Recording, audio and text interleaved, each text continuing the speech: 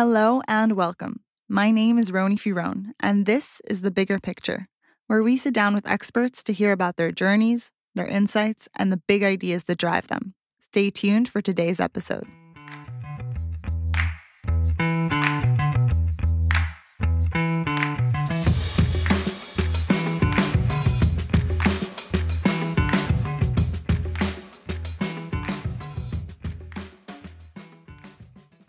Today's episode, I spoke with Professor Nicholas Dirks, the president of the New York Academy of Sciences, former chancellor of UC Berkeley, and former dean of the humanities at Columbia University.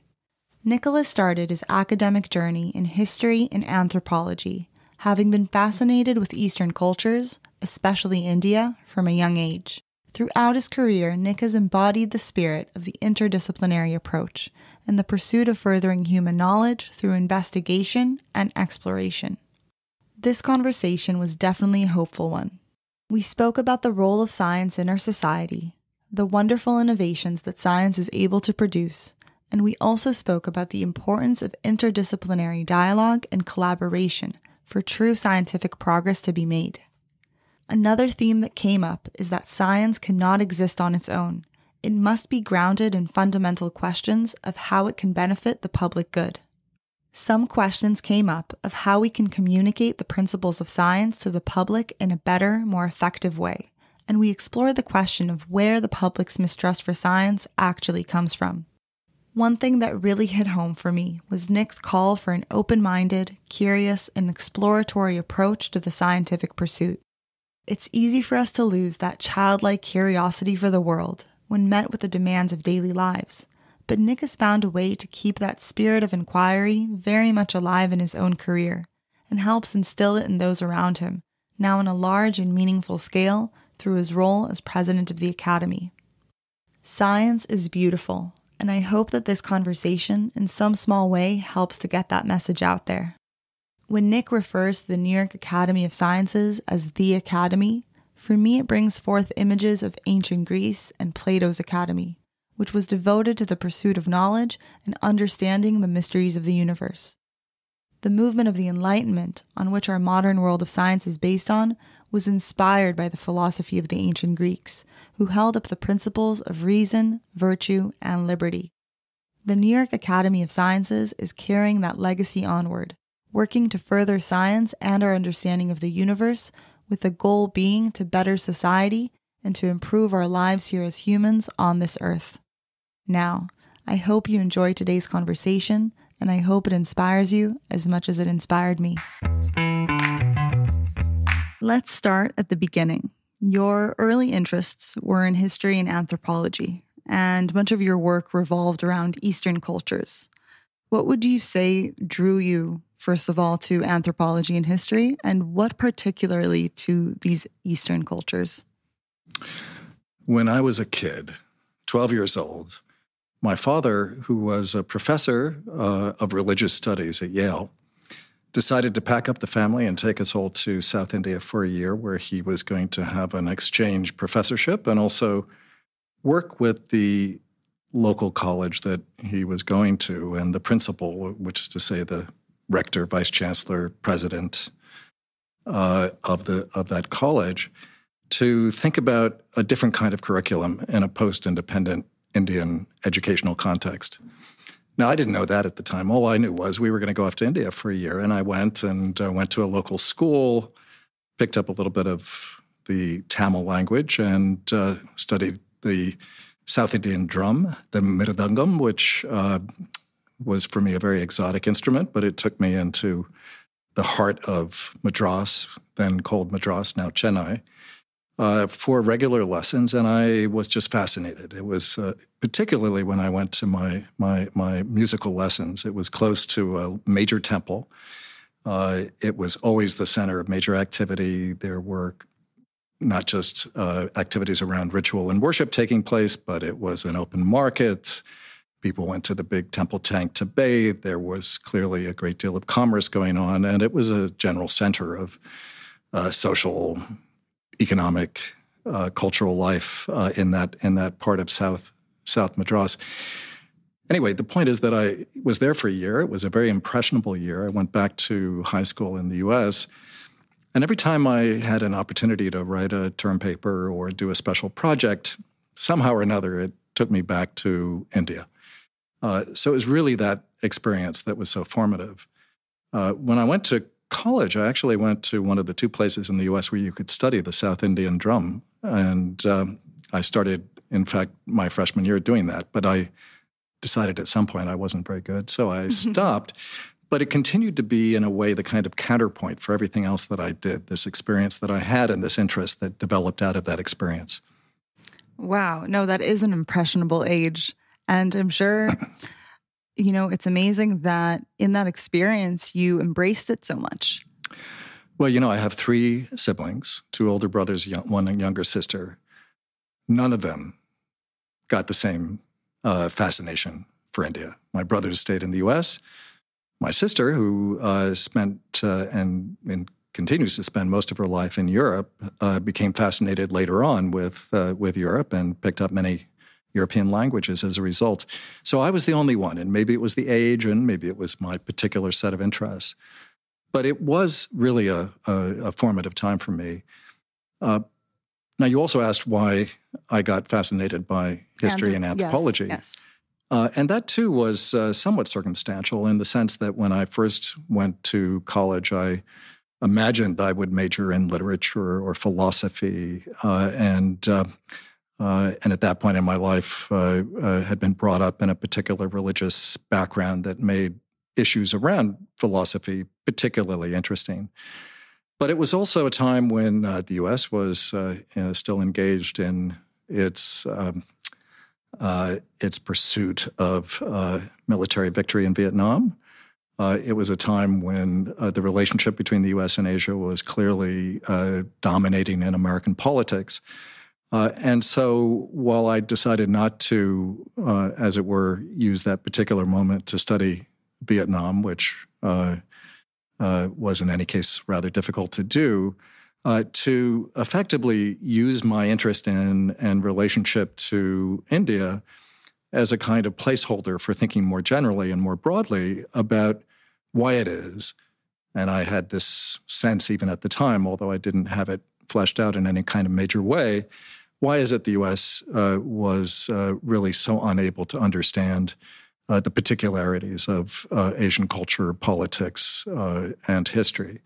Uh, because it struck me that in all the debates that were going on at the time, whether around the domino theory of politics, whether around the nature of, uh, of local ideological relationships to communism or uh, Marxism, that there was really very little actual understanding of what the Vietnamese uh, were thinking, how they were uh, themselves uh, uh, uh seeing America at that time, and what the major issues were if you kind of scaled down from the macro ideological political levels that, of course, were dominant in Washington and in other political capitals around the world at the time. Right. There are very strong differences between these cultures, between the West and the East. And I'm interested in what you found in the Eastern cultures that you think makes it so difficult for America to understand these different ways of life. Well, you know, Asia itself is a very big place, and there are a lot of differences. And uh, uh, uh, and when I went to college, I, I, I I decided to to write a th- senior thesis on India. So I studied India in more depth. Uh, the work I did was prom- uh, predominantly in the field of history. I didn't really start studying anthropology until I went to graduate school.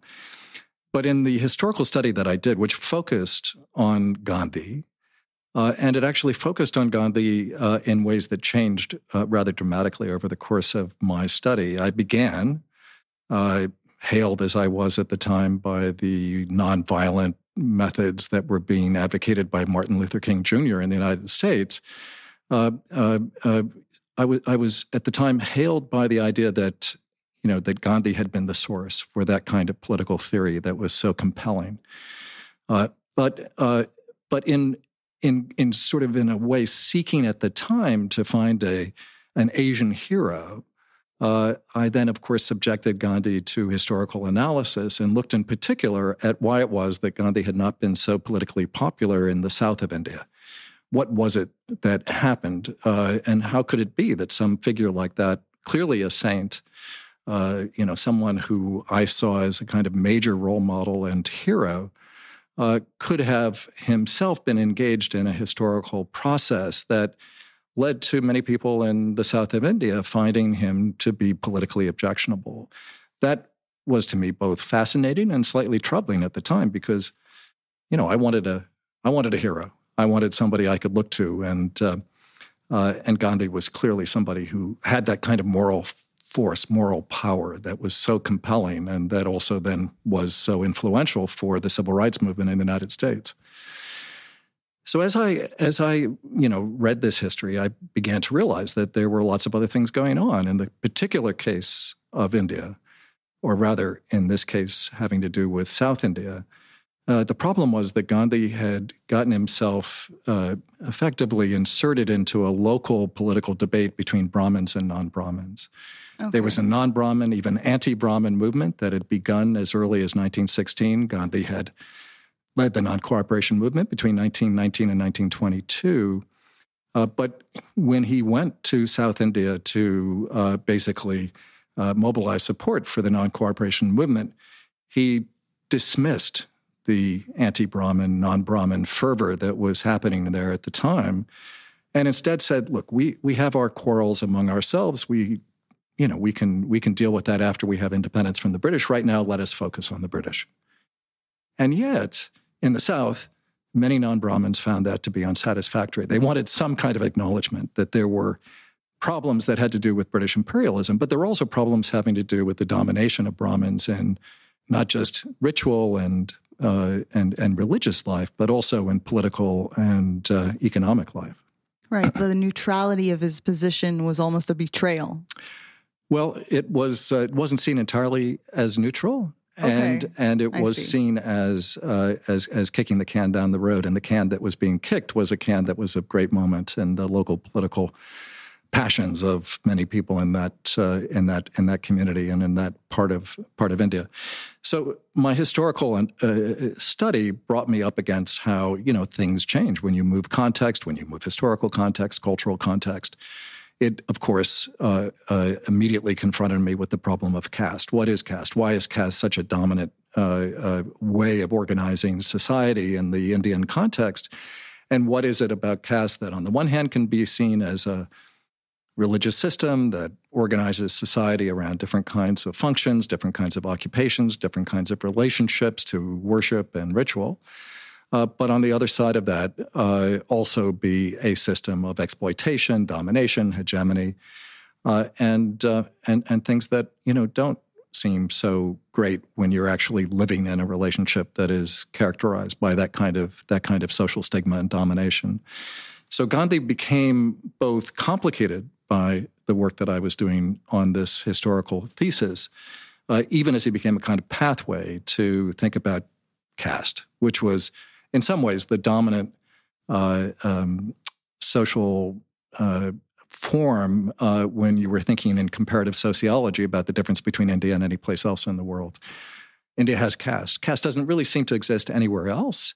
Uh, it has some uh, similarities to class. Uh, some correspondence exists with race, ethnicity, but it's actually a very different system, uh, and it's uniquely Indian.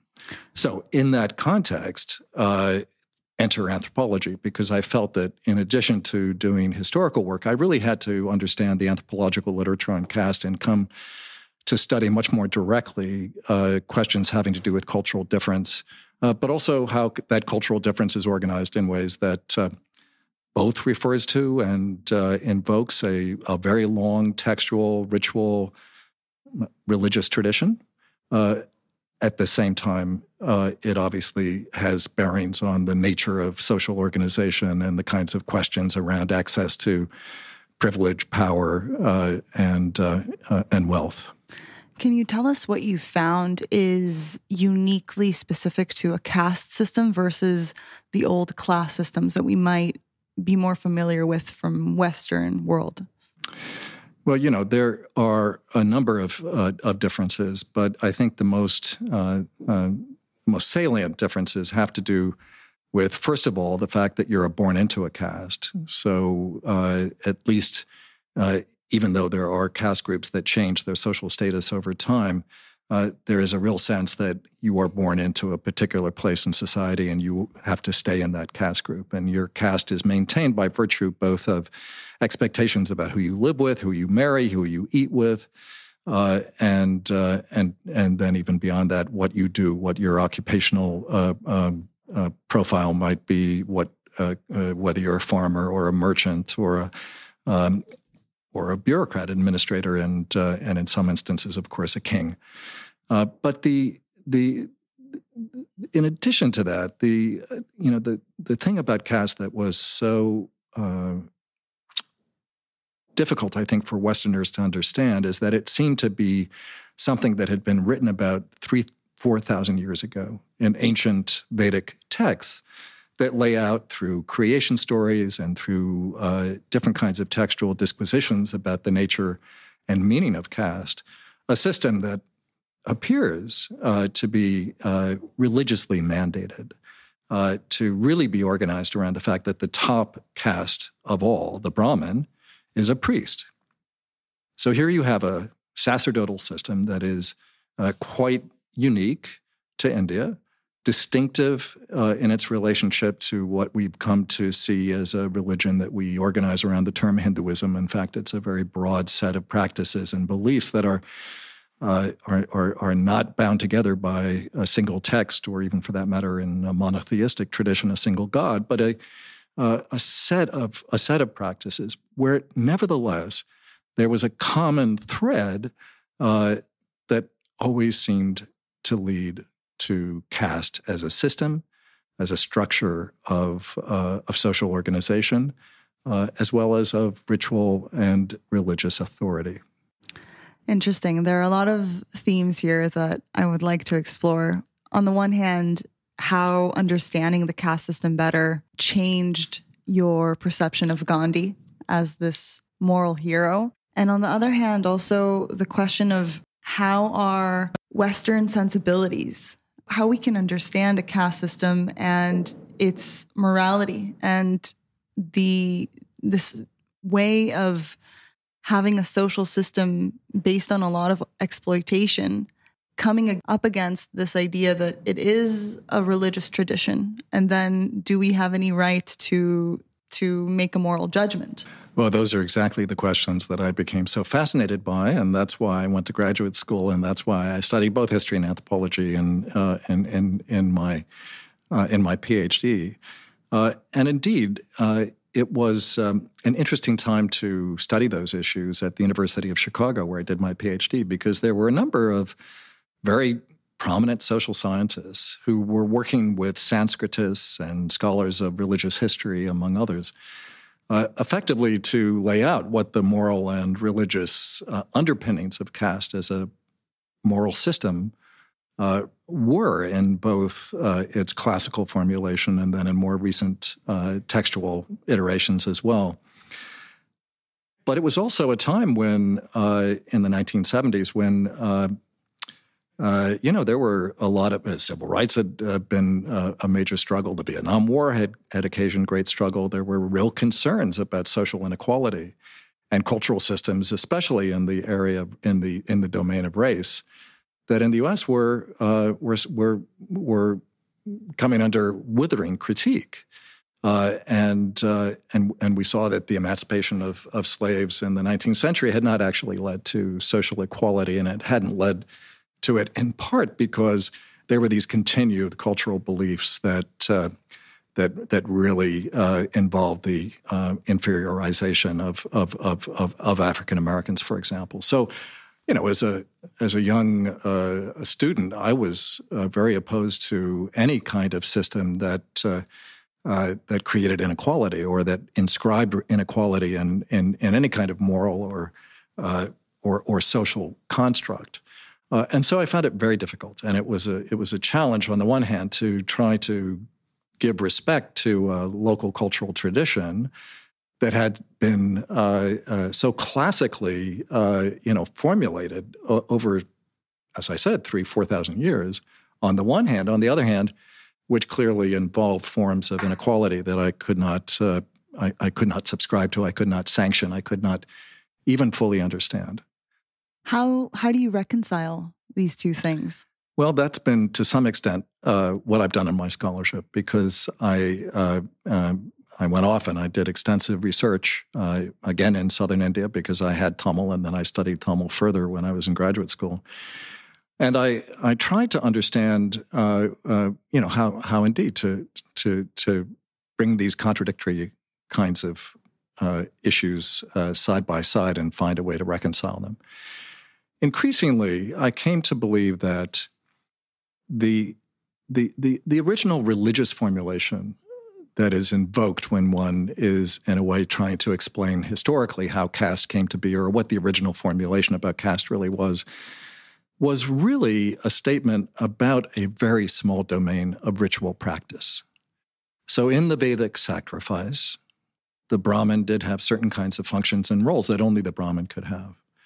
It was the speech of the Brahmin when reciting uh, Vedic hymns that could, along with ritual actions that had to be conducted, make things happen in the sense that a sacrificial uh, exchange uh, that would take place using fire, using various kinds of offerings to the god or gods, as the case may be, uh, um, how that actually did uh, seek to control uh, or at least uh, mitigate the world as it impinged on human life.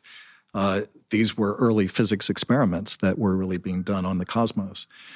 But that was a very small world, and that world of, uh, of, of, Vedic India uh, then got transplanted onto a much larger, increasingly agricultural society uh, in which a lot of things that had nothing to do with those originary ritual exchanges and uh, and practices uh, uh, took on a certain kind of justification. So, uh, whether you could own property or whether you were uh, basically landless labor or whether you were given property simply to learn the, the Vedic hymn books and conduct sacrifices and do rituals, was all uh, justified by reference to a very different uh, kind of moment in, in India's history. And so you basically, f- across India's history, saw a kind of process of justification uh, and of um, uh, uh, of taking something that was really meant for a very different context and using it to say, oh, you see these relations having to do with land, with property, with uh, with labor. Uh, they all are sanctioned and justified by religious precept, when in fact uh, there was a very very clear distinction. So I, I believe that there was a clear historical explanation for how you had a very, very sophisticated understanding of, a, of, of, of ritual practice that then got projected onto the screen of human social relations in a very different context. Uh, so, uh, you know, I, I began to train my attention on how that change or how a set of changes had happened over time and why it was uh, uh that, in particular, the idea that caste was solely a religious system continued to exist, at least in some formulations, including in the formulations of many Westerners who went to India to try to understand what was going on there. Interesting. There's something that resonates for me where we're used to, in our own Western history, hearing about religious beliefs and faiths and systems that along the way become dogmatic and become uh, a means to justify behavior that is oppressive. And it's interesting to know that there's some sort of, uh, if this is happening in Eastern cultures, then it perhaps it is the nature of certain religious beliefs to become calcified and to become these dogmatic uh, indoctrinations that are very much divorced from the original faith that they were based on. Well, that's absolutely right. And this is uh, not the only place that this has happened in world history. But the philosophical conundrum is still interesting because, on the one hand, uh, we can easily say, you know, religion is being used as a kind of ideology and it's being effectively transplanted from a world that has to do with, you know, very specific kinds of religious understandings and practices onto a world that has to do with economic, social, and cultural behavior. But at the same time that you're saying that, you're also imposing a particular kind of understanding of religion uh, uh, on that on that picture, and you're saying religion is separated from the world of politics or the world of economics or the world of culture, and to that extent, some of the debates that were taking place in anthropology were really about how can you understand a culture in its own terms without imposing Western values, without imposing Western constructs, uh, uh, and and and appreciate it for what it is, not just look to see what it isn't or to find ways to criticize it on the basis of one's own assumptions. There was a very important French anthropologist in the um, in the post-war period by the name of Louis Dumont, who uh, had uh, been interested in uh, uh in India. He was in a prisoner of war camp actually during uh, World War II, and um, persuaded his German captors to allow him to study Sanskrit, and he did. He learned Sanskrit and he went off to India for research after the, after the war. Uh, but in uh, in the 1960s, he wrote a book that uh, was translated into English as Homo Hierarchicus.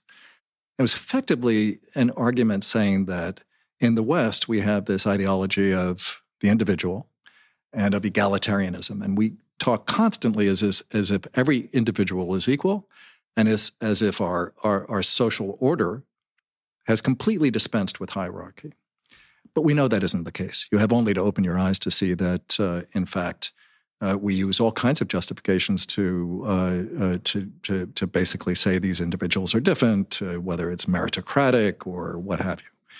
And he said, you know, there's a, there's, a, there's a value in India that's put on hierarchy, but it's not about domination. It's a value around uh, community and interdependence uh, and so on and so forth. And he, in fact, trained a particular kind of post Durkheimian uh, social theory uh, on the question of caste, and um, and effectively uh, uh, argued that. Um, you know, hierarchy, sure, it has its problems from the point of view of the West, but from the point of view of India, uh, our ideas of the individual and of egalitarianism also have similar kinds of problems. So at least we should be open to critique ourselves the same way we then go to critique others. what he what he did by that was to kind of raise the stakes of understanding cultural difference uh, and thinking about um, uh, uh, the kinds of questions of cultural relativism relativism that were also very current at the time. There's something so difficult about looking at a different culture and trying to remain unbiased because you're coming into the situation with your whole contextual filter, your own cultural filter, and your own moral judgments. And it's true that a lot of times we might have the implicit agenda of studying another culture without really wanting to understand but trying to learn how we can change and there's there's difficulty there of really being open to seeing the differences and perhaps the systems that are governing our world aren't necessarily the best. And maybe there's there's room for for both sides of the story. And with that said there's also certain cultures where you ask yourself what is the line that we draw in terms of oppression right? If uh, women aren't able to drive a car right? And is that is that because of their religious belief and should we respect it? There's there's very uh, very deep questions here of how do you study another culture? Because there's an aspect where you're never coming to the situation completely unbiased. We try in our studies and in science in general to be as unbiased as we can. Well what we try to do of course is to uh, occupy a certain kind of universalist perspective. And we try to say, you know, we can stand outside of our own histories, our own cultures, our own particular interests, And we can objectively, because we're using scientific methods, observe what something is and basically describe it and then analyze it. What anthropology did for me was to effectively formalize the kind of conundrum that I had as a college student and raise uh, the level of you know that larger set of questions about how you understand and see things when you are located in a particular culture. Now we're at a moment in world history where there is a rush, I think, to judgment often about uh, about other other groups, and there has been a reaction uh, uh, to uh, what has clearly been a long history of invidious stereotyping of different groups of other groups. Uh, and I think there's been a retreat from using culture as either a kind of alibi or a form of explanation. But at the same time, uh, there's been a kind of um, absence of reflection about what the ground on which one can actually make these kinds of moral judgments really is, and how one might achieve a much more dialogic, if I uh, can put it uh, in, in, in those kinds of terms, uh, a much more dialogic understanding of culture, which is to say that there's no one simple truth about some of these issues. It's not to say that there aren't there isn't truth at the core of what we observe, but there is so much that is affected by where we sit, how we look at something. So that the only way we can really capture the complexity of social and cultural phenomena is to see it through multiple perspectives. And in that sense, I'm, I'm suggesting that it has a dialogic character because it at least opens up the possibility that there is a negotiation uh, and some kind of reflective uh, uh, and an insistence on a, on a, on a reflective engagement with the complexity of, uh, of of trying to understand these social and cultural forms. Absolutely, I think that at the core of truth, there is always paradox. In a sense, it's very difficult to really get at the truth, especially when you're considering your own individual sense making capabilities. And it is in the dialogue and in the differences of opinion that I think we get closer to the truth. And in a sense, we need different personalities and we need different cultural points of view to to balance society as a whole. And when people kind of um, dig their feet in and you know, camp in one school of thought without seeing the other side and the merits to, you know, different opinions and different ways of life. I think that's when we become really blinded and we move further away from the truth. Be- yeah, and these, of course, are difficult things to think about in a, in a, at a time when there's so much, uh, you know, post-truth or you know, deliberate untruth uh, when the misinformation machinery is uh, cranking at a level that it never has been able to before because now of the ubiquity of the internet and of, uh, of, of, social media. So I, I, say this all with, uh, with some hesitation uh, because, of course, I'm not disputing uh, either that there are facts uh, or that there are truths that exist uh, in, in, in the things that we study and the things that we, as whether we're scientists or social scientists or humanists, seek to understand. That being said, and I can use a, a, contemporary, contemporary example, uh, and we can go back and talk more about interdisciplinariness and things like that that have to do with uh, my own work between history and anthropology. But you know, we live at a time uh, in the pandemic when we clearly are seeing very different understandings of science, of vaccines, uh, of disease, uh, of um, social practices that are advised by public health workers, and and and indeed by uh, a whole set of other things that uh, that really are fundamental to the current crisis we have in uh, in the pandemic. And and I think you know it it has made uh, it has made some of us believe that it's just a question of following the science. And yet we've seen that's easier said than done. But it's not just that it's easier said than done. It also is that when you look, for example, at vaccine hesitancy, you find that some of the people who don't feel comfortable taking a vaccine actually have uh, ways of seeing the vaccine that are very different. And they're not necessarily, or at least not solely, fueled by a particular kind of political position that is simply against vaccines because they're being promulgated by the state or by the Democratic political party in the US or by scientists who are seen as uh, voices of not just authority, but of uh, profiteering if they have anything to do with the big pharma industry or what have you.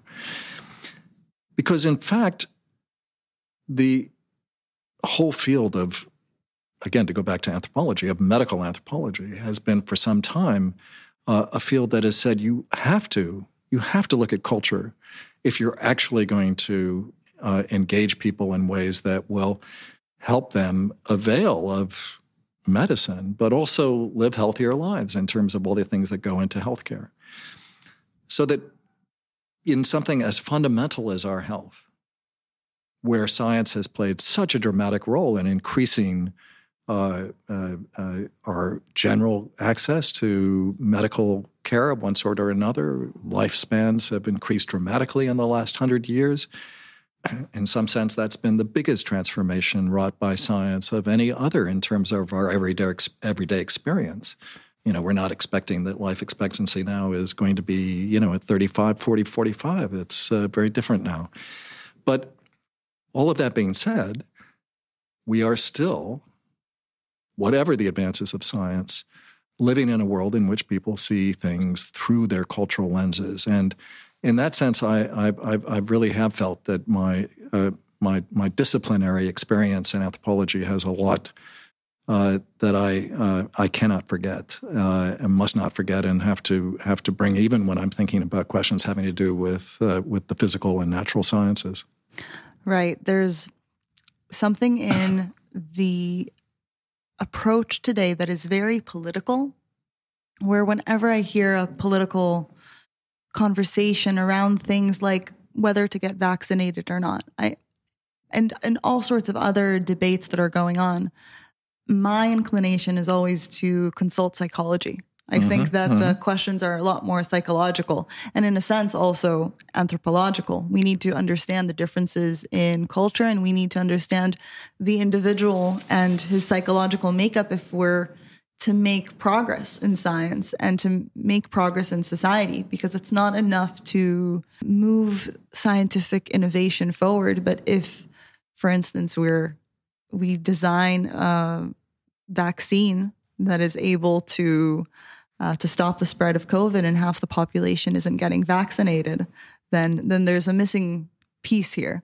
And so moving to to this uh, world of science now i wanted to ask you did you ever see yourself, you know, starting your career in history and anthropology? Did you ever see yourself coming to the position of being the president of the New York Academy of Sciences?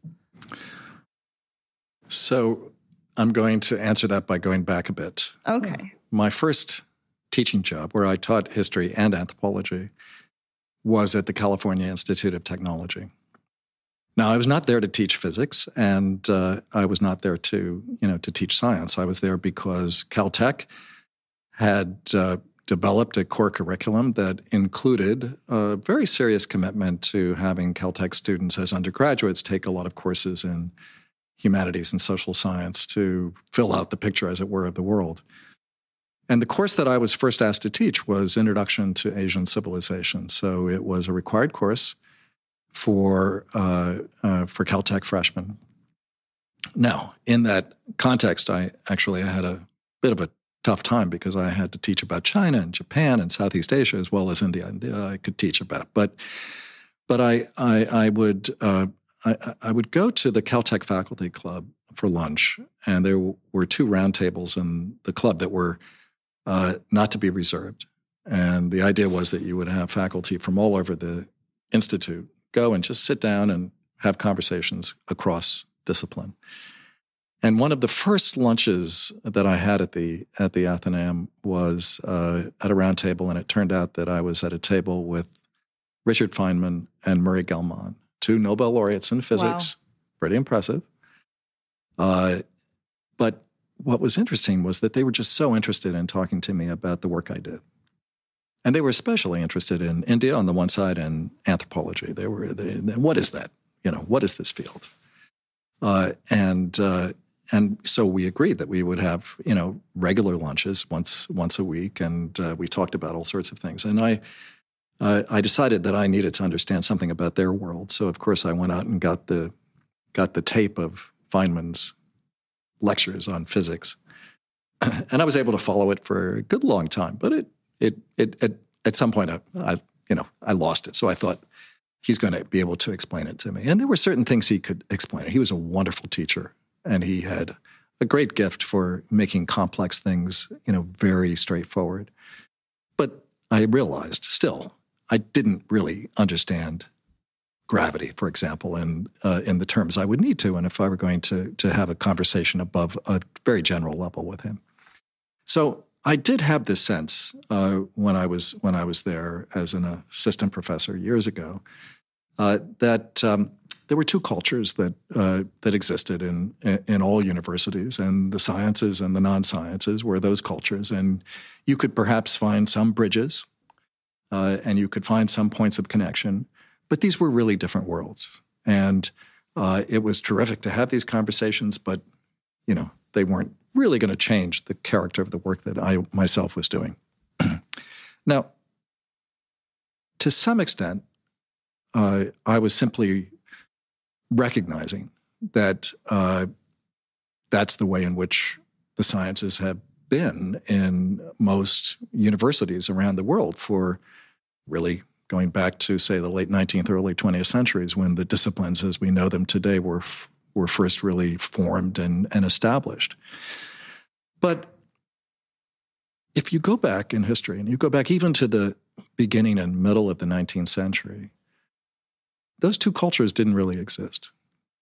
Somebody like Darwin, for example, was uh, was clearly a natural scientist, and he studied science in a very serious kind of way. But he was clear that when he was understanding or seeking to understand the artifacts from the voyage of the Beagle that ultimately became the archive for his understanding of the evolution of species, that he was using his imagination, he was using his speculative sensibility, he was looking at discrete things that he had to create connections between and among in ways that was not, strictly speaking, solely determined by discrete experiments that could be conducted in a laboratory. In fact, of course, there was no laboratory for the history of evolution.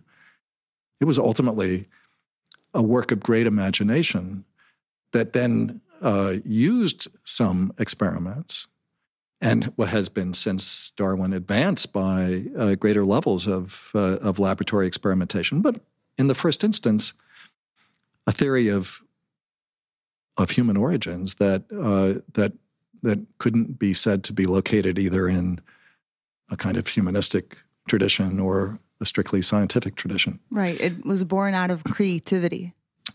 It required creativity, and it required uh, a very, very uh, uh, broad sense of how human knowledge is both uh, created and then and then organized and constructed. Can you describe to us the two cultures that you saw and kind of you know their characteristics? Well, the two cultures idea was, of course, inscribed in a very famous lecture that was given in London in 1959 by C.P. Snow, who was himself a trained scientist who then became uh, a, a, novelist and uh, and writer uh, in British society, uh, and he uh, he he gave these these lectures uh, and was very critical of the old humanistic elite in the UK. and he felt that they were contemptuous of science, and they shouldn't be. They, his basic argument was that, you know, scientists might not fully appreciate all the things that humanists do, and maybe they should have a broader uh, understanding of, of, of the complexity of the human condition. But they were doing things that were absolutely critical, and of course, this was when you know the power of of of of, of nuclear. Uh, explosions was obviously clear to everybody, and uh, this was a time of uh, huge anxiety around the possibility of nuclear war. And so all of a sudden, science was this very, uh, very clear and present danger on the one side. But on the other side, this was post penicillin. This was when scientific discoveries were beginning to really radically change uh, human health. Uh, and when the promise of, uh, of, of, of, science and technology really was uh, extraordinarily powerful for, for, for people who were looking at, you know, was the world going to be able to feed all the people in it? Was this world going to be able to, uh, to, to, to, to, create better living conditions? Uh, and, and the world had new modes of transportation, et cetera, et cetera. And, and Snow was simply arguing that you know these two cultures were actually going to, uh, if they continued to operate as separate cultures, get in the way of progress, and get in the way of progress that uh, that would be critical.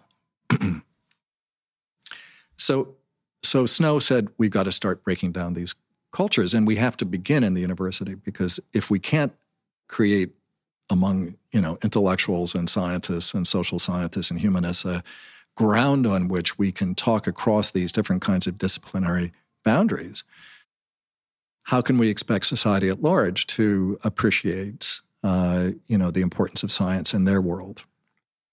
Anyway, that was 1950s. That's the origin of the phrase. And it was remarkably uh, prescient in the way in which it characterized how, uh, how things took place on university campuses. And I used that phrase to characterize how I saw Caltech. And then I went off and I taught at the University of Michigan. And then I taught at Columbia. And then I went to Berkeley. All universities have minimally two cultures. But Snow was, was onto something. And I think, I think his, his, his sense that uh, that we really weren't doing enough to try to figure out how to communicate across disciplines. Uh, was, uh, was, was both a way of saying the disciplines themselves were beginning to get in the way of real advances in human knowledge, and also of anticipating some of the things we were just talking about that science alone was not going to be able to solve all these kinds of issues, even as social science or humanities alone is not going to be able to you know deal with some of the kinds of pressing things that we in the 20th century had to deal with. So my my mentioning the two cultures in relationship to my uh, you know my lived experience of teaching in American universities from uh, from the 1980s onward uh, is a way of saying that at first I accepted this as being a kind of condition of intellectual life. And the physicists would do their thing and I would do my thing and I could be comfortable and I could even be interdisciplinary. I could bring history and anthropology together, you know, which was a big thing in its time, I think. You know, I put together in the University of Michigan a joint PhD program in history and anthropology. It shook up the historians, it shook up the anthropologists. It was good. I think it was, you know, an important program. It continues to this day, and it's uh, it it it does train different kinds of, of graduate students who do different kinds of work. By the same token, you can imagine, you know, much more ambitious ways of bringing together psychology and uh, biology and anthropology and other fields that clearly have a lot to learn from each other.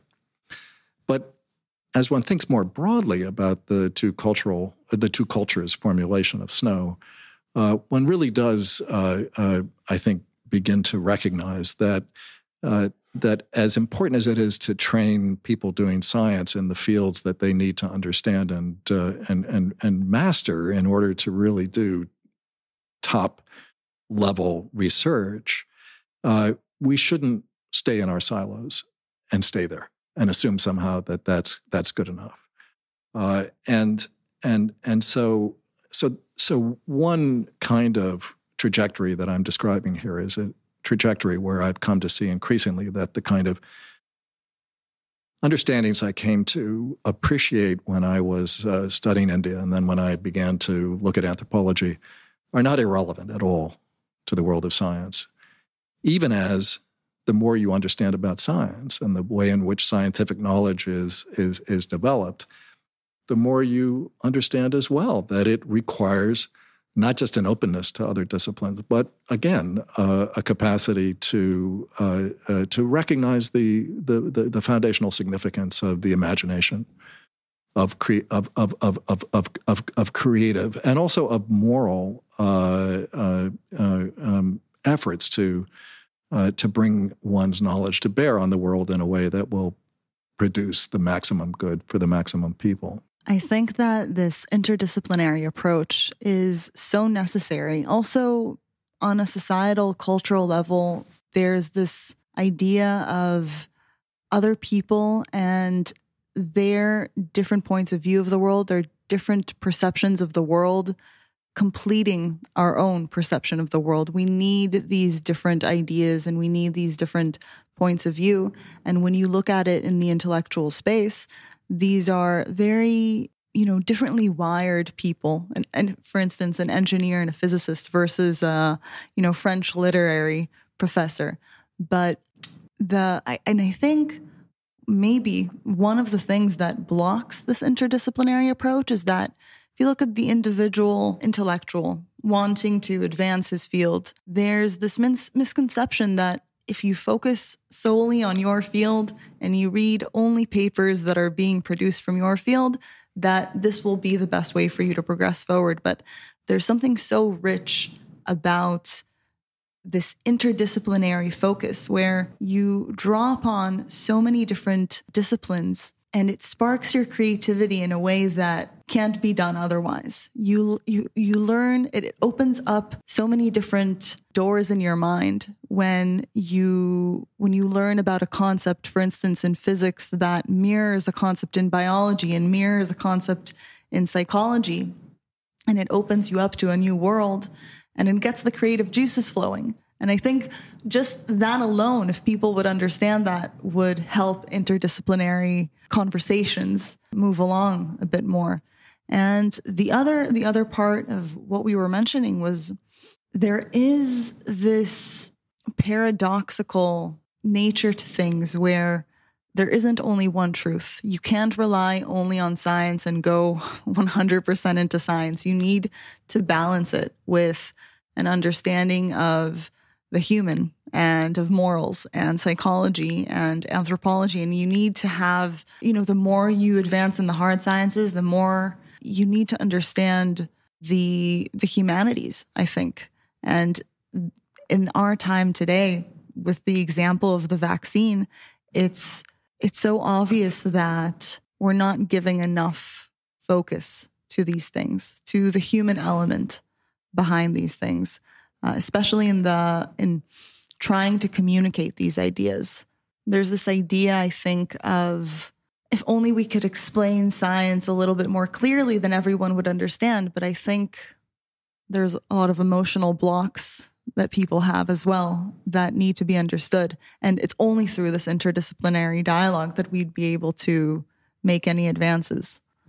Well, again, there, there, there, there are different domains in which this operates. On the one hand, uh, some of the kinds of interdisciplinary discussions and conversations that can take place or should in my view should take place on university campuses are still going to be at a level of technical difficulty that won't necessarily open up science to a more public appreciation and understanding uh, and i think you know i think uh, uh, there are a lot of examples of how uh, simple kinds of interdisciplinary exchanges can advance science in fairly traditional ways that are very, very important. Uh, you uh, see right now that many, many physicists uh, have begun to work in the field of biology. Because biology, with you know, first with DNA, but now with uh, RNA, is the it's the place where some of the most important questions in science are being uh, examined. Uh, and so you have a lot of physicists who, uh, and you have a field now called biophysics that uh, that that gives a certain name to that. But it's uh, it's it's it's really about uh, taking the, the, the background that you have as a as a trained physicist and then using that to look at the at the world of uh, molecular and cell biology that has produced some of the greatest insights that we've had over the last 10, 20, 30 years. So there there, there's there's there's a there's a kind of benefit to interdisciplinariness even within you know some of these domains. There's also what we were talking about as well, though, which is that uh, if you really need to think about the human, uh, you have to think in in in, in cross disciplinary ways. Neuroscience, fascinating field that is making uh, incredible strides in uh, in its understanding of, of, of the brain and of brain function, uh, is uh, is making these strides in part because brain imaging is getting better and better, and we have new kinds of imaging technologies that have uh, been able to to, to represent for us brain activity uh, in ways that are far more detailed and sophisticated than was possible even five years ago. A colleague of mine from Berkeley uh, has actually been able to uh, to to take an image of uh, of a certain set of brain images themselves uh, that almost looks like a kind of old um, old movie, you know, from the from the earliest days of uh, of cinematography where you see this kind of you know Slice. flashes and Yeah. slices you know but uh, uh, but you know these are uh, these are opening up all kinds of new opportunities for understanding the nature of the brain but if you're going to understand the brain if you're going to think about questions of consciousness if you're going to think about you know what is distinctive to human consciousness what is uh, uh, what is the capacity of a machine to replicate uh, certain kinds of calculations certain kinds of judgments. In other words to replicate what humans can do well you have to think uh, a, a lot harder about what you mean by what it is to be human along with what and how even one's understanding of the human can be advanced by understanding how computers work.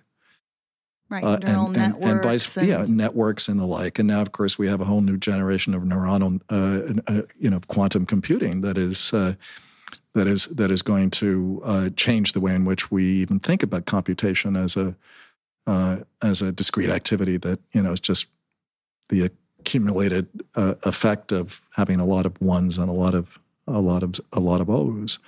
So it's uh, it, it works at a lot of different levels, and it works in a lot of different ways that I think are are are are going to be fundamental to to the next generation of advances of our understanding in fields that uh, really go across a, a wide range of areas, including in, as I say, in neuroscience, perhaps in particular.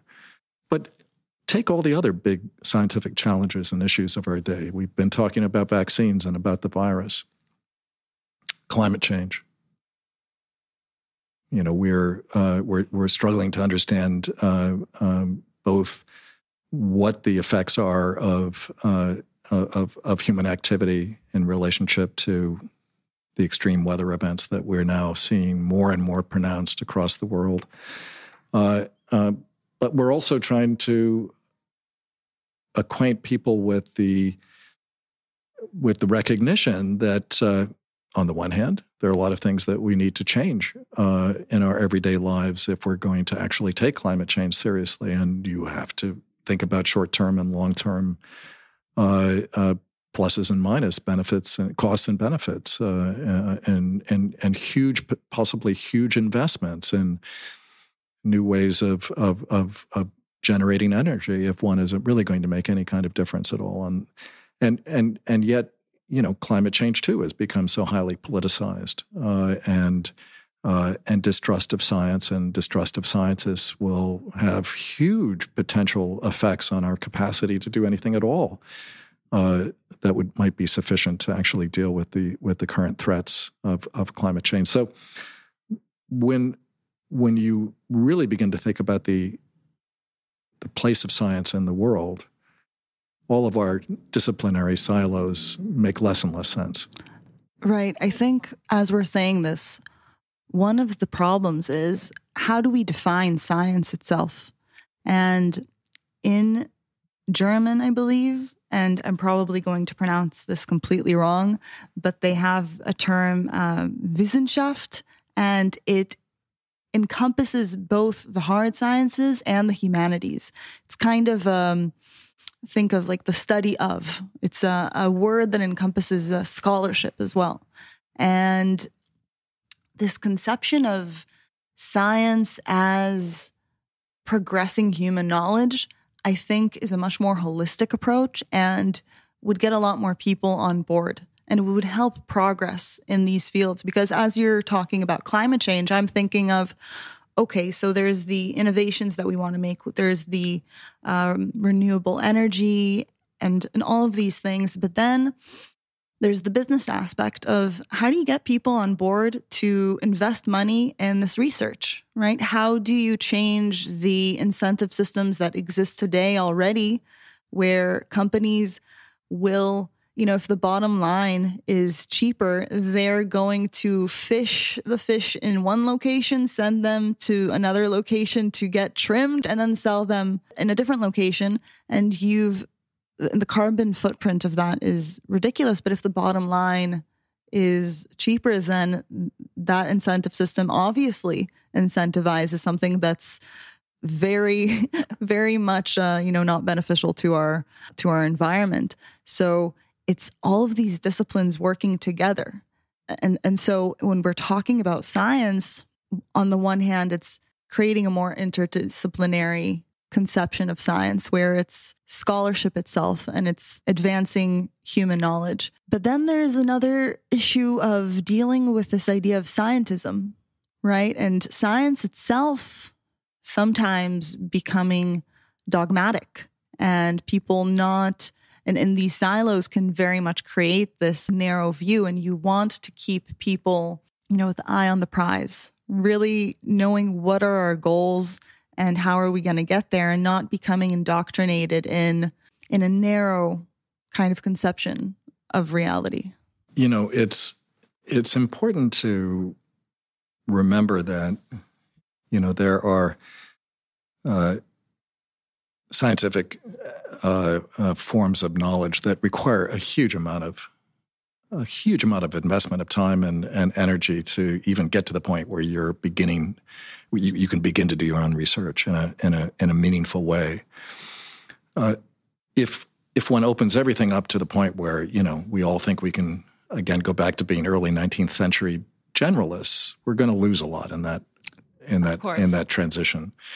So there continues to be obviously the uh, the need to uh, to learn disciplines in particular kinds of ways that really enables one to to understand the uh, the fundamental science that that you need for any particular uh, subspeciality uh, and research activity. So so none of this is an argument for just you know becoming a generalist, but I think I think in uh, in in looking at how we organize our universities, how we organize, uh, uh, you know, the practices that have to do with the creation and then the dissemination of knowledge, uh, we we we do have to be a little more creative in in how we think about this. And of course, I'm thinking about you know how do we organize universities.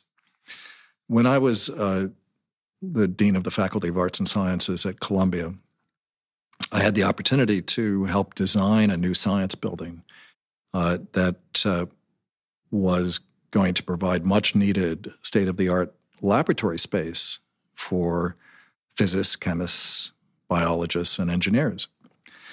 And we decided at some point that the uh, the way we would uh, organize this this this laboratory building was to insist that uh, that basically we co-located scientists from different fields next to each other. Each floor had three laboratories.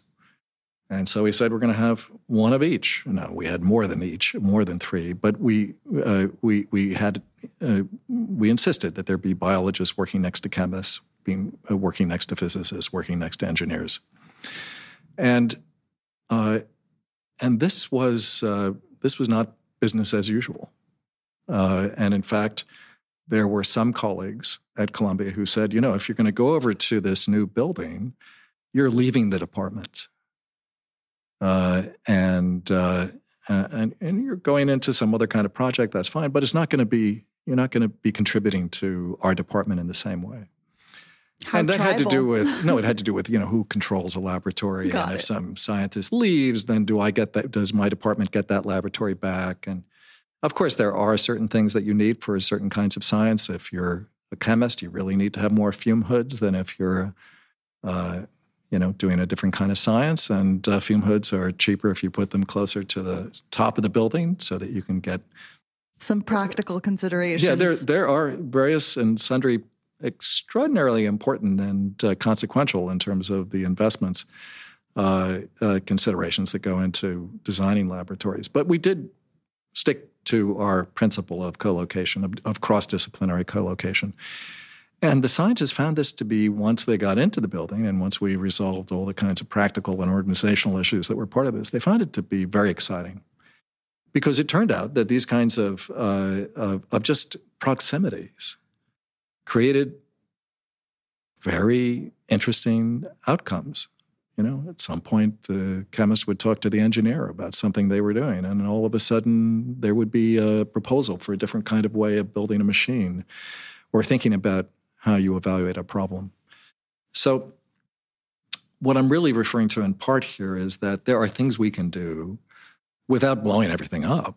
Oh, of course. That, uh, of course. You know, that, that really will advance uh, the ways in which we, we, we, we think about um, research work. Uh, and some of this research is, is, is in fundamental science. It's not all to be uh, applied science. Uh, it's often the case that some of the most extraordinary discoveries in the world have come out of what we call curiosity driven science, uh, basic research, fundamental research. Uh, because that's when you really don't know what you're going to find. You're, you're, you're just interested in a problem.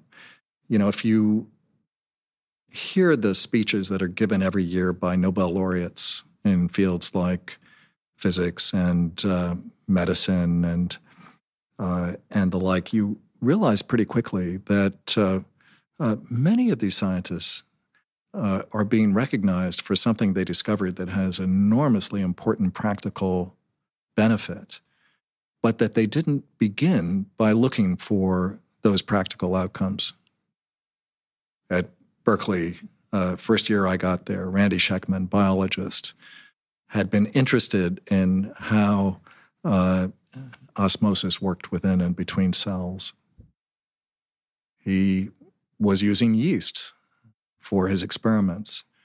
And one thing led to another. And before long, he actually discovered how to create synthetic insulin that can be used for diabetics around the world in a much more uh, uh, economical way to to to actually provide uh, the insulin needed for for the needs of patients.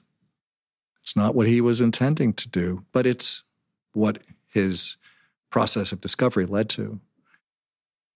By the same token, when I was at Columbia, a wonderful biologist there by the name of Martin Chalfie uh, had become interested in glowworms for reasons having to do with uh, the particular biology of the glowworm. But because the glowworm was completely transparent, it turned out you could then begin to do experiments in the glowworm that allowed you to actually see how metabolism worked, to see how different substances were uh, uh, were would affect the organism, uh, and it's revolutionized the way in which certain kinds of biological research can take place.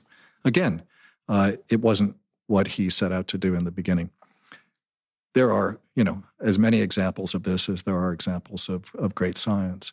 So, so we need to keep uh, that kind of capacity to do research that nobody really quite understands what what it's all about. Uh, uh, it's it sometimes uh, is is is put under the rubric of the usefulness of useless knowledge. Abraham Flexner wrote a book about that a, a, long time ago. He was one of the people who helped set up the Institute for Advanced Study in Princeton. But it, it it's it's part of what uh, what I'm what I'm what I'm hoping for here, which is a slightly more open sense of how knowledge is created and how serendipity is part of that. And serendipity, both in terms of who you're interacting with, who you're talking to, and what you're trying to understand.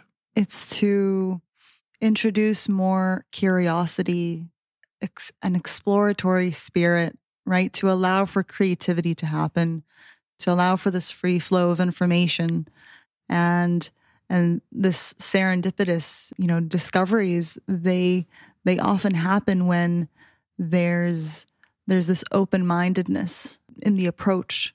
Uh, even if you're you know looking to to discover something uh, completely different. It's this open mindedness that can many times help you make these discoveries. And, and it is very exploratory in the sense that we often don't know where we're going. There's a, a sense of, you know, we're mapping out reality uh, with science, and that uh, within that there is this exploration. What do you think we need today in the universities and in research institutions to to have more of that? Well, the first thing is that with all the emphasis now increasingly on trying to get universities to be more accountable for training students to have discrete uh, occupational outcomes and vocational training, really almost uh, at the end of their educational journey. We need to be able to uh, protect uh, uh, the university as a place where people can uh, simply indulge their interest in uh, in just exploring something uh, and exercising their imagination uh, in being creative. Now, to do that, one also needs to, I think, maintain uh, what sometimes is called the liberal arts basis of, of undergraduate education. And that would effectively mean the kinds of things I was teaching at Caltech, the importance of ensuring that a student who wants to do physics is also looking at cultural questions or philosophical questions or historical questions. Because it turns out to be helpful, and it turns out to uh, to open the mind in ways that are, I think, really important, even in very narrow and technical fields. in the end of the day,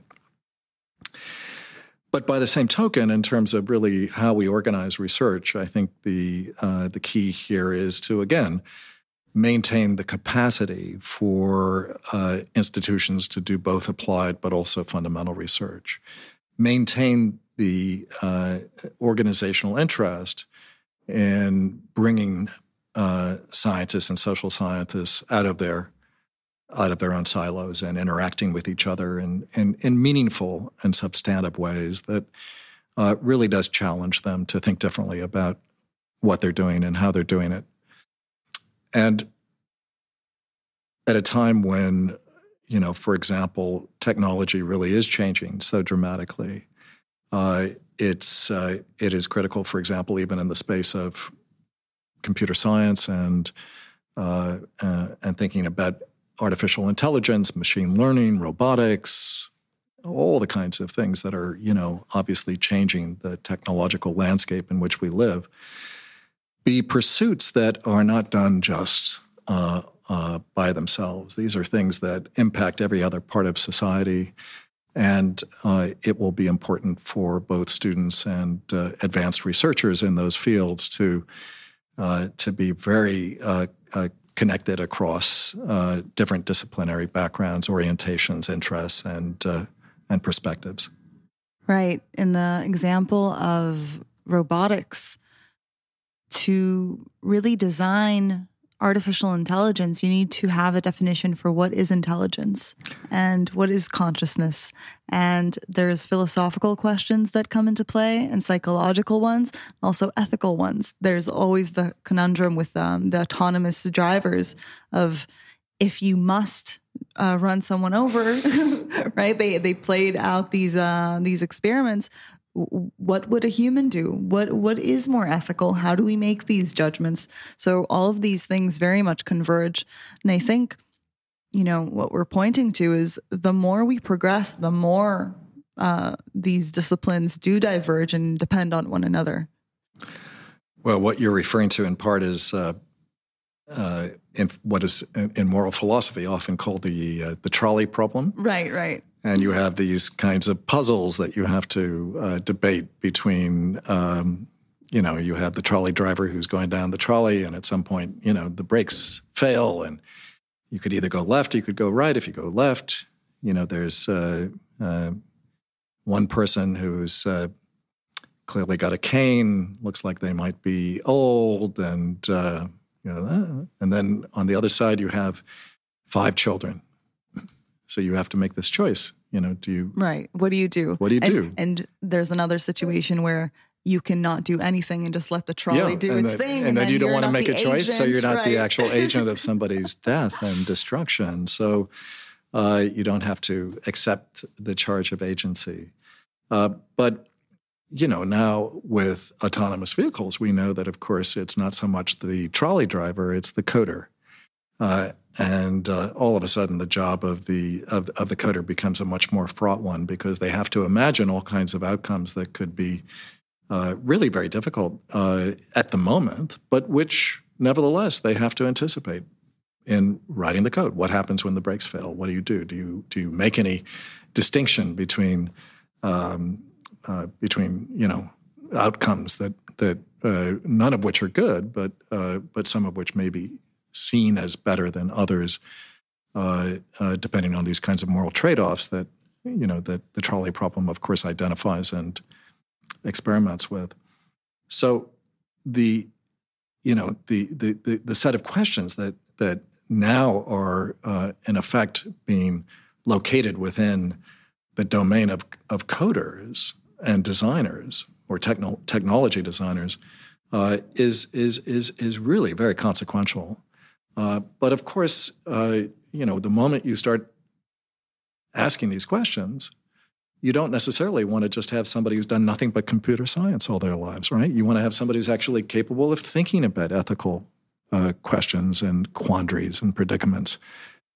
when you're looking at uh, at the operations of artificial intelligence right now, you know because it's now been demonstrated that uh, you know if if if if you use experience effectively uh, to create the data that goes into a very big data set for a set of algorithms to process and then uh, and then you know churn out for you. You're going to you're going to have the, the the the biases and the stereotypes and all the issues that are part of lived experience get condensed in uh, in the outcome of that algorithmic process uh, so you see time and time again that you have uh, racist um, stere- uh, stereotypes and and depictions of of, of individuals, uh, you know, basically look like their natural uh, their natural outcomes of a of a computational process instead of you know basically uh, the the refraction of, of, of something that's out there in the world that then of course through a insensitive algorithm simply gets gets passed through. So we've seen that. We've seen that you know there are all kinds of questions in uh, in the way AI processes data. Uh, but we also know that AI is going to have extraordinary power in a huge number of domains, and um, and and so all of a sudden, uh, you know, how do you then, you know, create the ideal coder for uh, for a set of algorithms that are going to have, you know, potentially huge impact on uh, on on certain kinds of outcomes, and um, and and and so in that sense, you know, this kind of interdisciplinary ethos, I'm so interested in. Well, I've been interested in in in trying to enact this across my role, uh, my roles in administration at uh, both Columbia and Berkeley.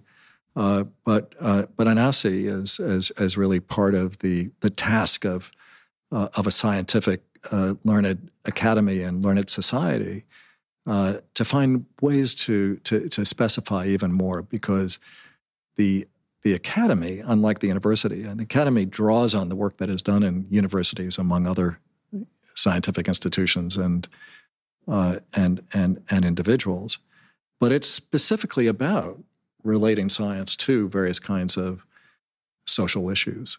And so it's all the more a, a, a place where you know the kind of uh, these kinds of connections, these kinds of synergies, these kinds of uh, even moments of serendipity can, I think, be encouraged in in, in very important uh, in very important ways. Can you tell us what you find so unique about the Academy? So, the New York Academy of Sciences was established in 1817 as the Lyceum. At that time, it was really more of a school than an academy, although academy bears some of that uh, history in its own in its own etymology.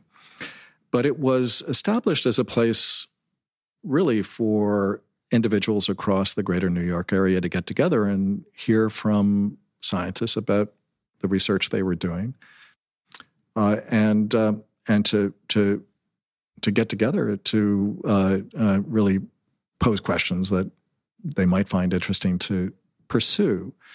Now, the academy was formed after Columbia, but before NYU.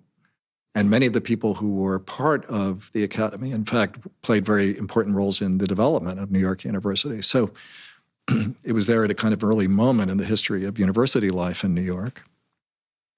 But it played a consequential uh, uh, role uh, even in, in the formation of the of, of, of, of its some of its great universities.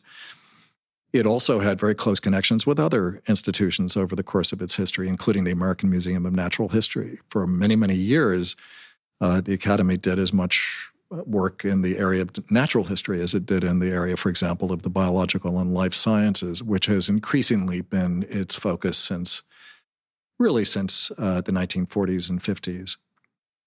Uh, when it began to hold some of the most important conferences on the development of new kinds of antibiotics. So, uh, in 1946, the Academy held the first major conference on uh, on the first set of antibiotics that were developed post penicillin. Uh, it's also had major conferences on HIV, uh, on SARS, uh, and most recently, of course, on the coronavirus. But in addition to its work in, in, in the biological and life sciences, it's, it's, it's over the course of its history, it's, it's engaged many different kinds of questions from every branch of science, including from anthropology. Margaret Mead, great anthropologist, uh, was vice president of the Academy for many years in the 1950s and 60s, and her professor from Columbia, Franz Boas, was actually the president of the New York Academy back in the uh, early 20th century. Uh, and that's very meaningful for me in part because uh, at Columbia I held the Franz Boas Chair of Anthropology. So yes, it, I know it, it does uh, establish a direct, uh, a direct genealogical connection. But the Academy also it attracted you know very interesting people uh, in its early years. It had people like Thomas Jefferson as as members and speakers, and of course uh, uh, it it, uh, it it featured you know just about all the really interesting people doing science, uh, and not just in New York, but across the East Coast during uh, during those decades. Uh, in its in its in its history, it, for example, too was a place where Dar- Darwin's theories about human evolution were first presented and discussed in the United States. Uh, we have some documentation in our archive here of a major conference that took place uh, uh, around uh, uh, around Darwin's work. It was 1909, 50th anniversary of the publication of The Origin of Species, and 100th anniversary of Darwin's uh, life, and since he was was born in in 1809 but it again was uh, was the place where uh, where questions around human evolution were discussed uh, in in New York and indeed on the East Coast. As universities got bigger and uh, began to perform some of the same kinds of activities that the academy had performed in the 19th century, the academy shifted, and it shifted increasingly to be a place that brought university scientists together with scientists working in industry, as well as increasingly with not just scientists, but with individuals and institutions that don't normally interact with each other. Most recently, uh, in relationship, for example, to United Nations or other kinds of non governmental organizations.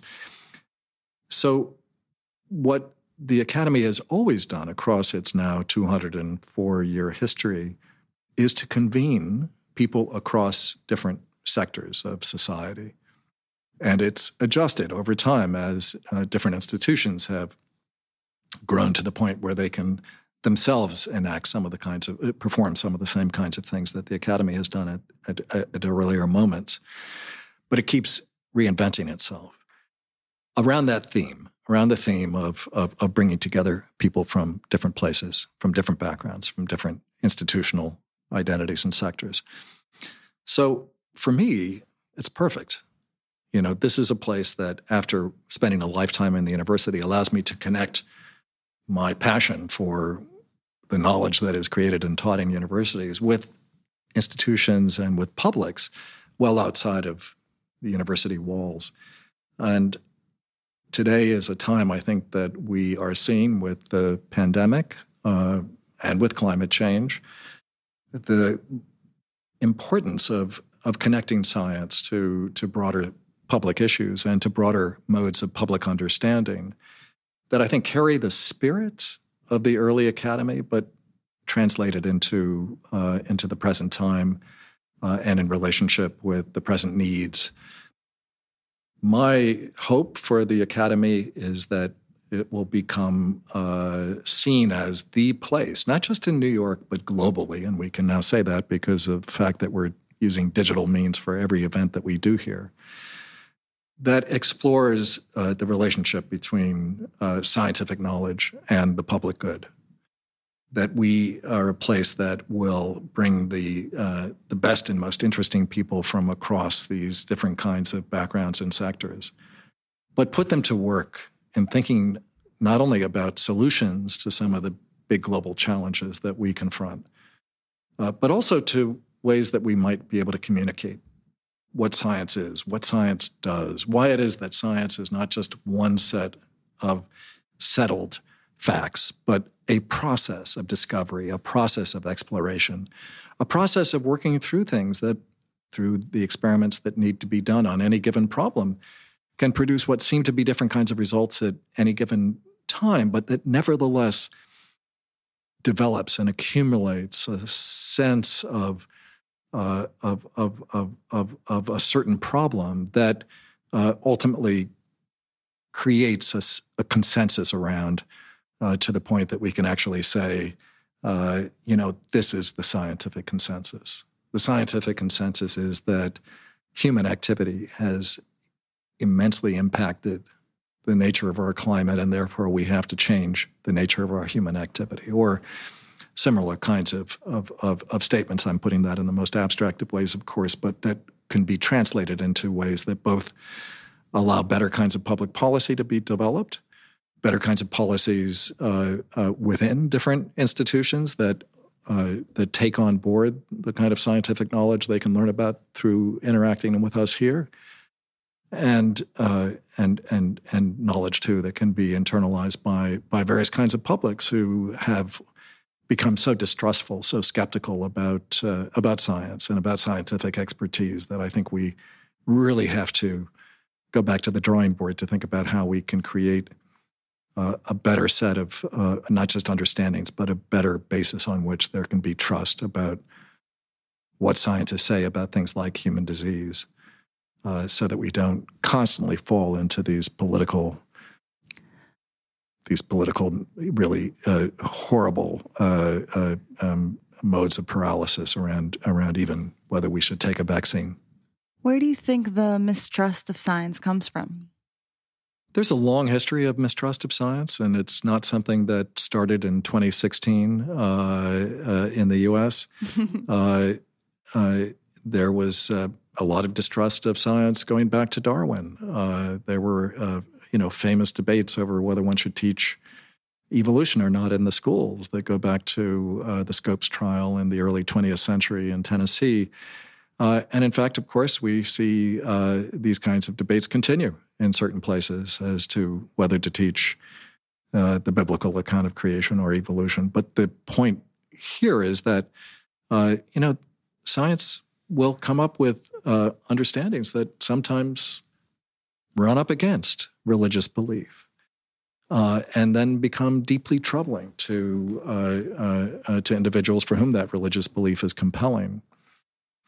In a way, it takes me back to the way we started this conversation because uh, you know there is uh, um, cultural difference everywhere we look. Uh, and it's not just cultural difference in the sense that you have a group of people who share a single culture all the same way, all it's the same time. The culture as well. It's also about differences that have to do with individuals, and individuals will participate within cultural modes of knowing at the same time that they'll have very specific and uh, sometimes, you know, um, uh, uh, uh understandings of the world that are about their own personality formation and the like that uh, requires the field of psychology to be brought into these these these debates as well. But the the point here being that if we are to advance science, we have to take a much more holistic approach to what science is uh, and how we create new ways, perhaps, to translate scientific knowledge into what might be seen as more acceptable uh, or uh, formulations that might uh, uh might develop greater forms of trust. Maybe, for example, uh, we need to be clearer about the fact that scientists sometimes do disagree, that there are debates, and that there isn't just one single kind of, uh, of, of, of, of, facts that are, are settled for all time. I liked what you said about a process. It's a process. And, and I think we have to assume that people are, you know, they're not stupid. They're, they're, they, they, see, they see every, every few weeks a new study comes out. It says that if you diet in this way or you exercise in that way, you're going to lose weight. And then it tells you, you know, a year later, no, we got that wrong. Um, other studies show that, you know, something else is the case. Well, in uh, if you if you don't actually create the basis on which one can understand that science does in fact change over time, then you can uh, basically open up these uh, these kinds of uh, studies to the politicians or the naysayers who simply want to appropriate them to say, "You see, there's no agreement at all. I mean, uh, there's no under- there's no agreement about climate change. Uh, scientists are still debating it, so we don't have to do anything. Let's wait until the science is settled." Well, unfortunately, there'll be a lot else that will settle uh, before the science is completely settled about anything including climate change. Right. It never really settles. It's a constant progression. It's a constant progression. But I do think we have to find ways to be more authentic uh, and more transparent in the in the way we talk about the knowledge that uh, we ascribe scientific authority to. Uh, at the same time, that we don't talk in ways that are so technical and so, um, dare I say, authoritative that they put people off, and they make uh, they make science appear to be uh, a, a, language that is only about talking down to people rather than engaging them in a productive way. Right, because I think in the heart of science, you have this very you know the scientific method and the philosophy of science in general is the pursuit of truth and in a way that is as unbiased as possible and being open to to failing you know in your experiments and that gets you closer to the truth. And we we don't always live up to that as scientists because we're only human and sometimes uh, egos can get in the way.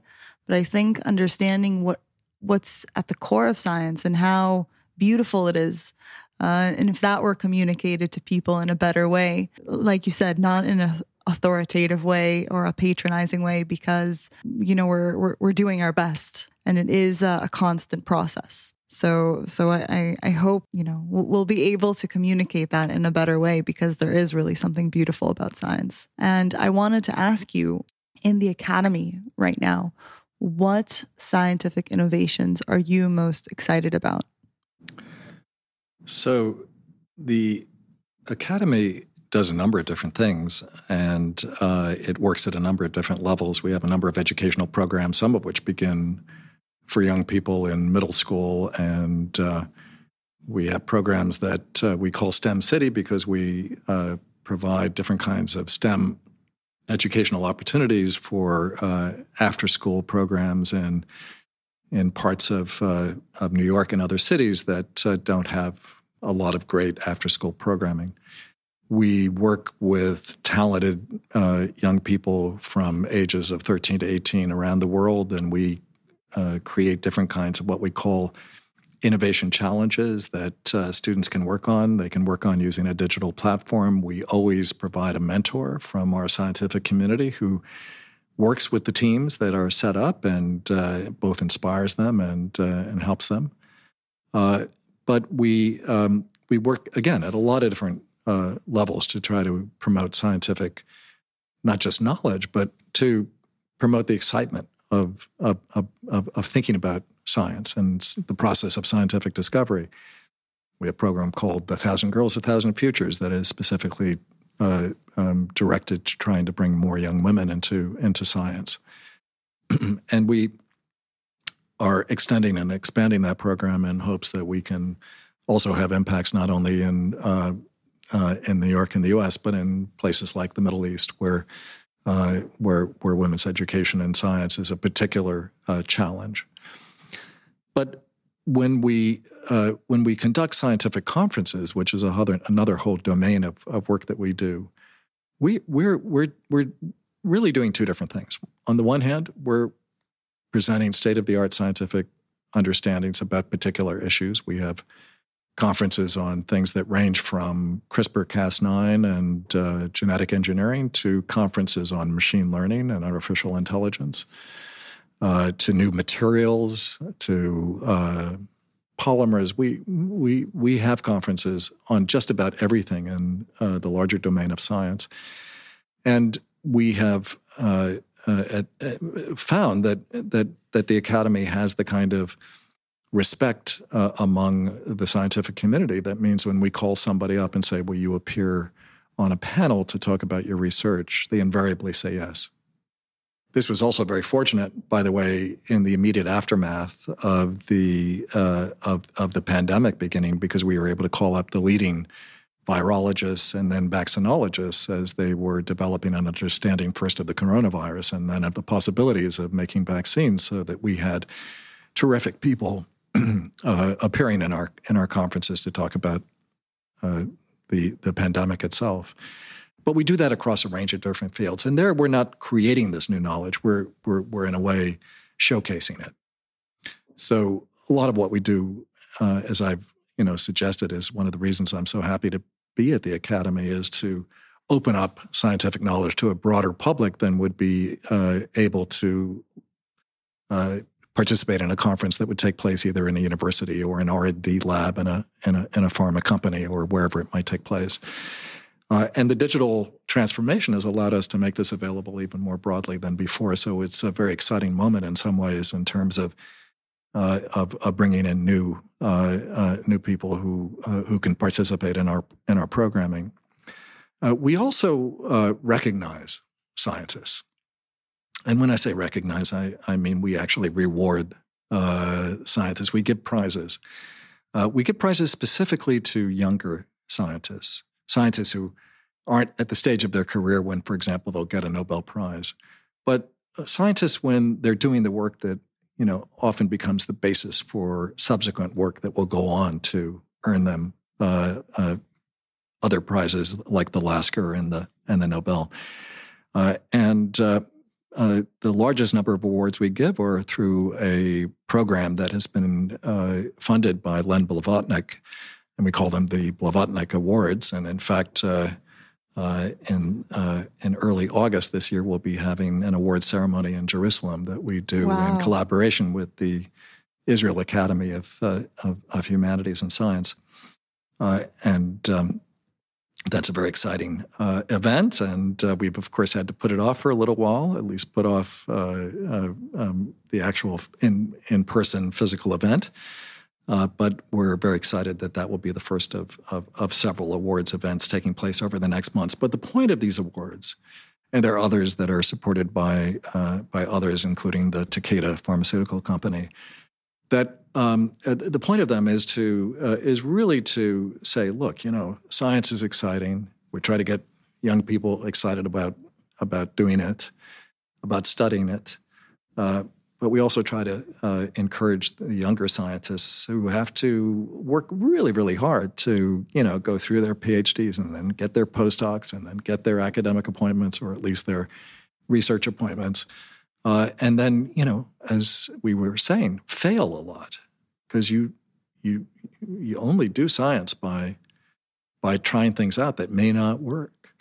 Uh, but when something works and when some insight really is generative in a way that, uh, again, won't typically get them anything more than a approving nod from a dean or something like that in a university, uh, we go and we give them a um, a nice pot of money that they can use for anything they want, and also in a, a ceremony where we really, uh, you know, feature the work that they do and the excitement that is generated around around their their role in science. Incredible. That can So- make a real difference in so someone's it's- career. Yeah, it, it it and people who get that tend to say, you know, that was more important than anything else because it was at a time when I really needed it. I really needed that kind of recognition. I really needed that kind of support. That vote of confidence that I'm on the right path. So, you know, we uh, uh, we do education, we do conferences, we do awards, we do publications. We have a very old and distinguished journal called the Annals of the New York Academy of Sciences that continues to publish some of the uh, state of the art work in, uh, in most fields in, in science. It also has a, a particular feature, which, it, uh, which is that uh, we commission essays basically to characterize recent advances in particular fields of science. So it's not only original research, but it's also a kind of a review essay. So that if you're really tracking, you know, you want to know what of interest has been done in RNA research over the last 12 months, check out the annals and you'll see that there'll be articles there that will be uh, real um, uh, surveys of, of, of recent exciting work in particular in discrete scientific fields. so we do a lot of uh, a lot of I think very very important things, uh, but we're uh, we're beginning to do a lot of new things too. Uh, one thing that we have just announced is something we're calling at this point the International Science Reserve. We got a planning grant from IBM to start this. And it was a grant that was generated out of uh, something that IBM started as well in, uh, in the immediate weeks after the pandemic began in March of 2020 through something that was called the High Performance Computing Consortium. The HPCC was effectively a uh, an effort to find surplus computational capacity in some of the big supercomputers and national labs and universities and uh, in, in, in industrial contexts uh, uh, to basically see if we could use some of that excess computational capacity for people who were doing COVID specific research and they needed very quickly to have more computational power than they were able to secure on their own. And so, actually, some of the work that went into the development of the vaccine, some work that, uh, for example, established that you could use a ventilator for more than one patient, came out of the Mhm. HPCC, Wow. and and it was an enormously, I think, uh, productive uh, experience because you had people who typically would compete against each other, working collaboratively with each other. Now, of course, a crisis is good for that. During a crisis, people, you know, they throw aside their their their competitive instincts You and hope. they say we're all in it together. Well, there were there was there were moments of great cooperation, even Yeah. among the uh, you know the big big pharma groups that were racing towards a vaccine. But the um, but the HPCC was a success, and so what we're hoping to establish in this idea we call the International Science Reserve is a network that wouldn't just be about computational resources. It would be about connecting or putting together a network of scientists and scientific institutional resources that could be mobilized in the event of the next catastrophe to start working together immediately on a problem. And we know there'll be more. Uh, we, there might be another pandemic, although the next time around it may be a very different kind of pandemic. It may be, for example, a pandemic created by a waterborne pathogen that would require completely different protocols than airborne uh, pathogens.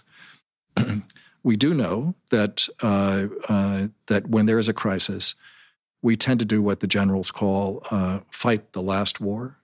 Uh, so and we, what does that mean? uh, you mean you have a, had a crisis? Mhm. Well, we did it. Uh, uh, we'll we'll respond to the new crisis the same way we, we responded to the I old see. crisis, I see. but it's a different crisis.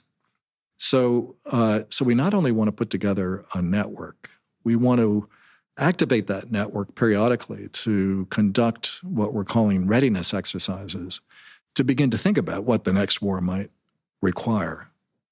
And so using ideas of scenario planning and, um, well, readiness procedures, we hope to be able to come up with a whole set of potential challenges and uh, begin to think about who could work together and how they would work together to accelerate dramatically our capacity to respond should, God forbid, another one of these world scale crises just begin without notice. Uh, and again, there could be other kinds of, uh, of pandemics, but there could be uh, we've we've experienced recently an increase in cyber hacking and cyber attacks. A cyber attack could disable uh, energy grid in a in a major way for a long period of time. Uh, it could disable a transportation network. It could do real harm to um, you know to our capacity to deliver healthcare or any number of other services that are required to even sustain life. It could be, therefore, as challenging in some ways as the pandemic has been. Uh, and we think there are ways to prepare uh, and to prepare without, again, without having people just uh, write checks or whatever, but really just devote a certain amount of their time and commit uh, in the event of need a certain set of resources to uh, bring together uh, the right kinds of people and the right kinds of capacities to to to deal with future challenges of a of a pandemic nature. So. Uh, IBM came to the academy and said, "We'd like you to uh, to organize this," uh, and so we're in the process of thinking about um, what it would take to put this together. And we think that's uh, an exciting thing to do, not to think about another catastrophe, but to be positioned in a place where we use our convening power precisely now to address future challenges of that kind, uh, um, as we know we're going to have to. I think it's so valuable to create that collaboration and to to put in the proper incentives for that cooperation between different disciplines and to allow people to really really progress science in the spirit in which it was intended right and as well as in the young generation of scientists and also in these fields of being ready for a crisis, I think having people collaborate in that kind of way is revolutionary, really. Well, you know, the capacity to collaborate is really important. And we know the comp- competition does, uh, you know, it gets people moving more quickly, and it obviously has a huge incentivizing kind of function for our behavior as as human beings. But uh, but we have to we have to collaborate uh, under certain kinds of conditions. And and I think um, I think th- what the academy is good for because we're a kind of neutral global institution uh, is a spa- is is providing a space where that kind of collaboration can take place. Uh, both to advance knowledge and in this case to advance the capacity to translate knowledge into action should we need it. And you know there are other things we're doing too, but uh, I'll just end with perhaps one last uh, project that we're trying to develop, which is to uh, create a set of senior fellowships that will bring scientists to the academy, say for nine months or maybe for a year, uh, to um, to indulge something that they don't always get the opportunity as as practicing scientists to indulge, which is to say, to get away from the from the bench for a little while and to think about the big issues that uh, again correspond to some of the things things we've been talking about uh, here together, but which uh, which take one a little bit away from the core of one's own scientific research and and and preoccupation. Uh, so, for example, you could imagine uh, bringing uh, as a senior fellow somebody who's doing really important work in CRISPR-Cas9, but you're going to give them the opportunity and um, and and and support to uh, to think about well, what are the ethical issues in uh, in genetic engineering? Uh, we might all agree that um, we should use CRISPR-Cas9 to cure diseases that are genetically transmitted, diseases like sickle cell anemia or uh, or or Huntington's disease, which are very both very cruel genetically transmitted diseases. But as anyone knows who's thought about what is possible with the new technology of CRISPR Cas9.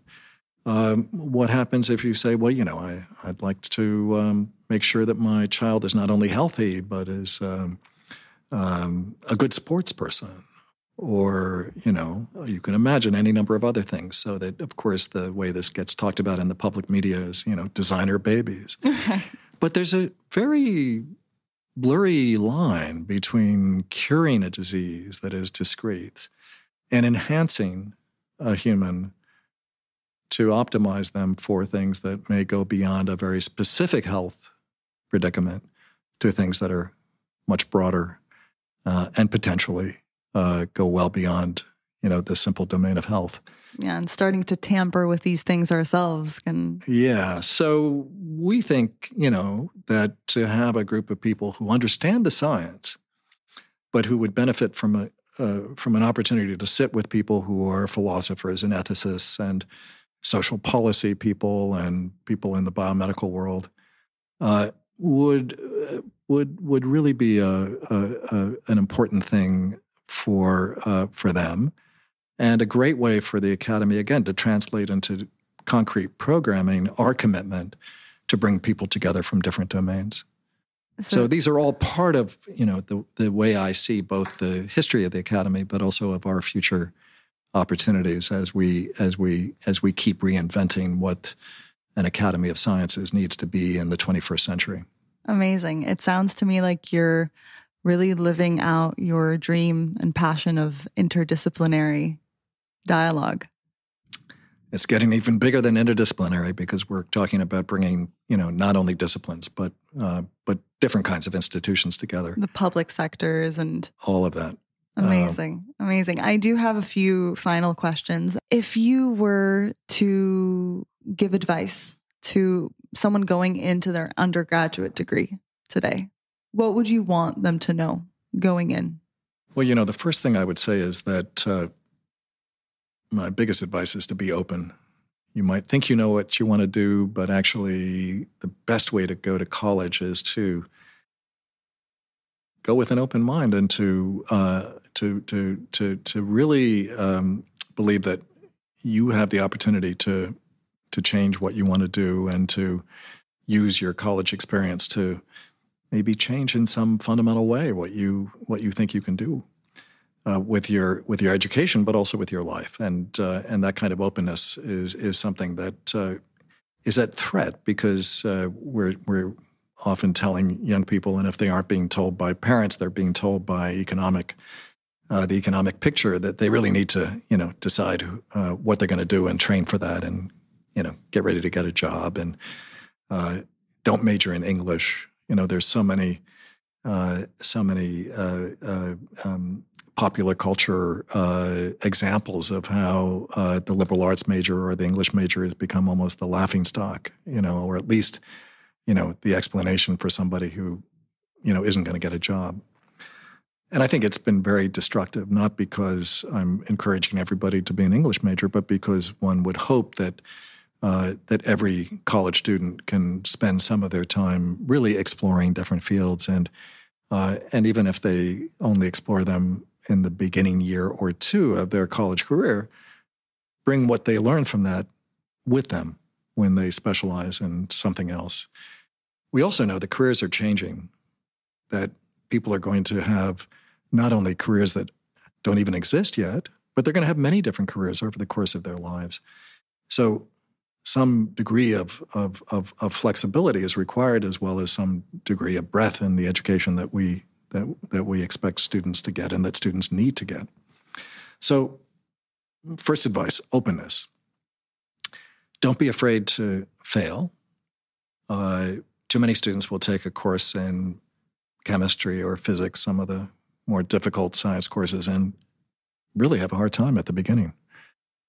And uh, the real point is you get thrown off the horse, get back on the horse. Uh, uh everybody has a hard time with some of these uh, intro courses that exist. And uh, the only way to really cope with it is to uh, just keep trying and, and, and not to feel that uh, if you fail once, you're doomed to fail forever in that particular field.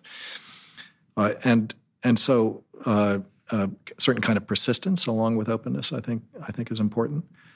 But, you know, the, the truth is that, that it's, it's it's a time of great anxiety for young people, and uh, the more we can do institutionally to try to allay some of the some of the sources of that or for that anxiety, uh, the better, because we we really do have to acknowledge that uh, people aren't aren't making up the reasons for this uh, uh, uh anxiousness they feel, but um, but but but the task of, of, of the college educator is to try to really make it as smooth a process as possible, so that students really do feel that they can take the time to experience the full range of opportunities that that do exist in in in most college and university educational curricula.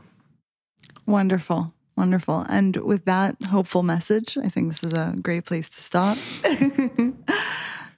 Thank, thank you, you, Thank you so much for the conversation today. It was fascinating. Well, thank you, Roni. And I uh, really appreciate the questions that uh, you've asked and also your own uh, reflections along the way. So it's been great talking to you. Thank you.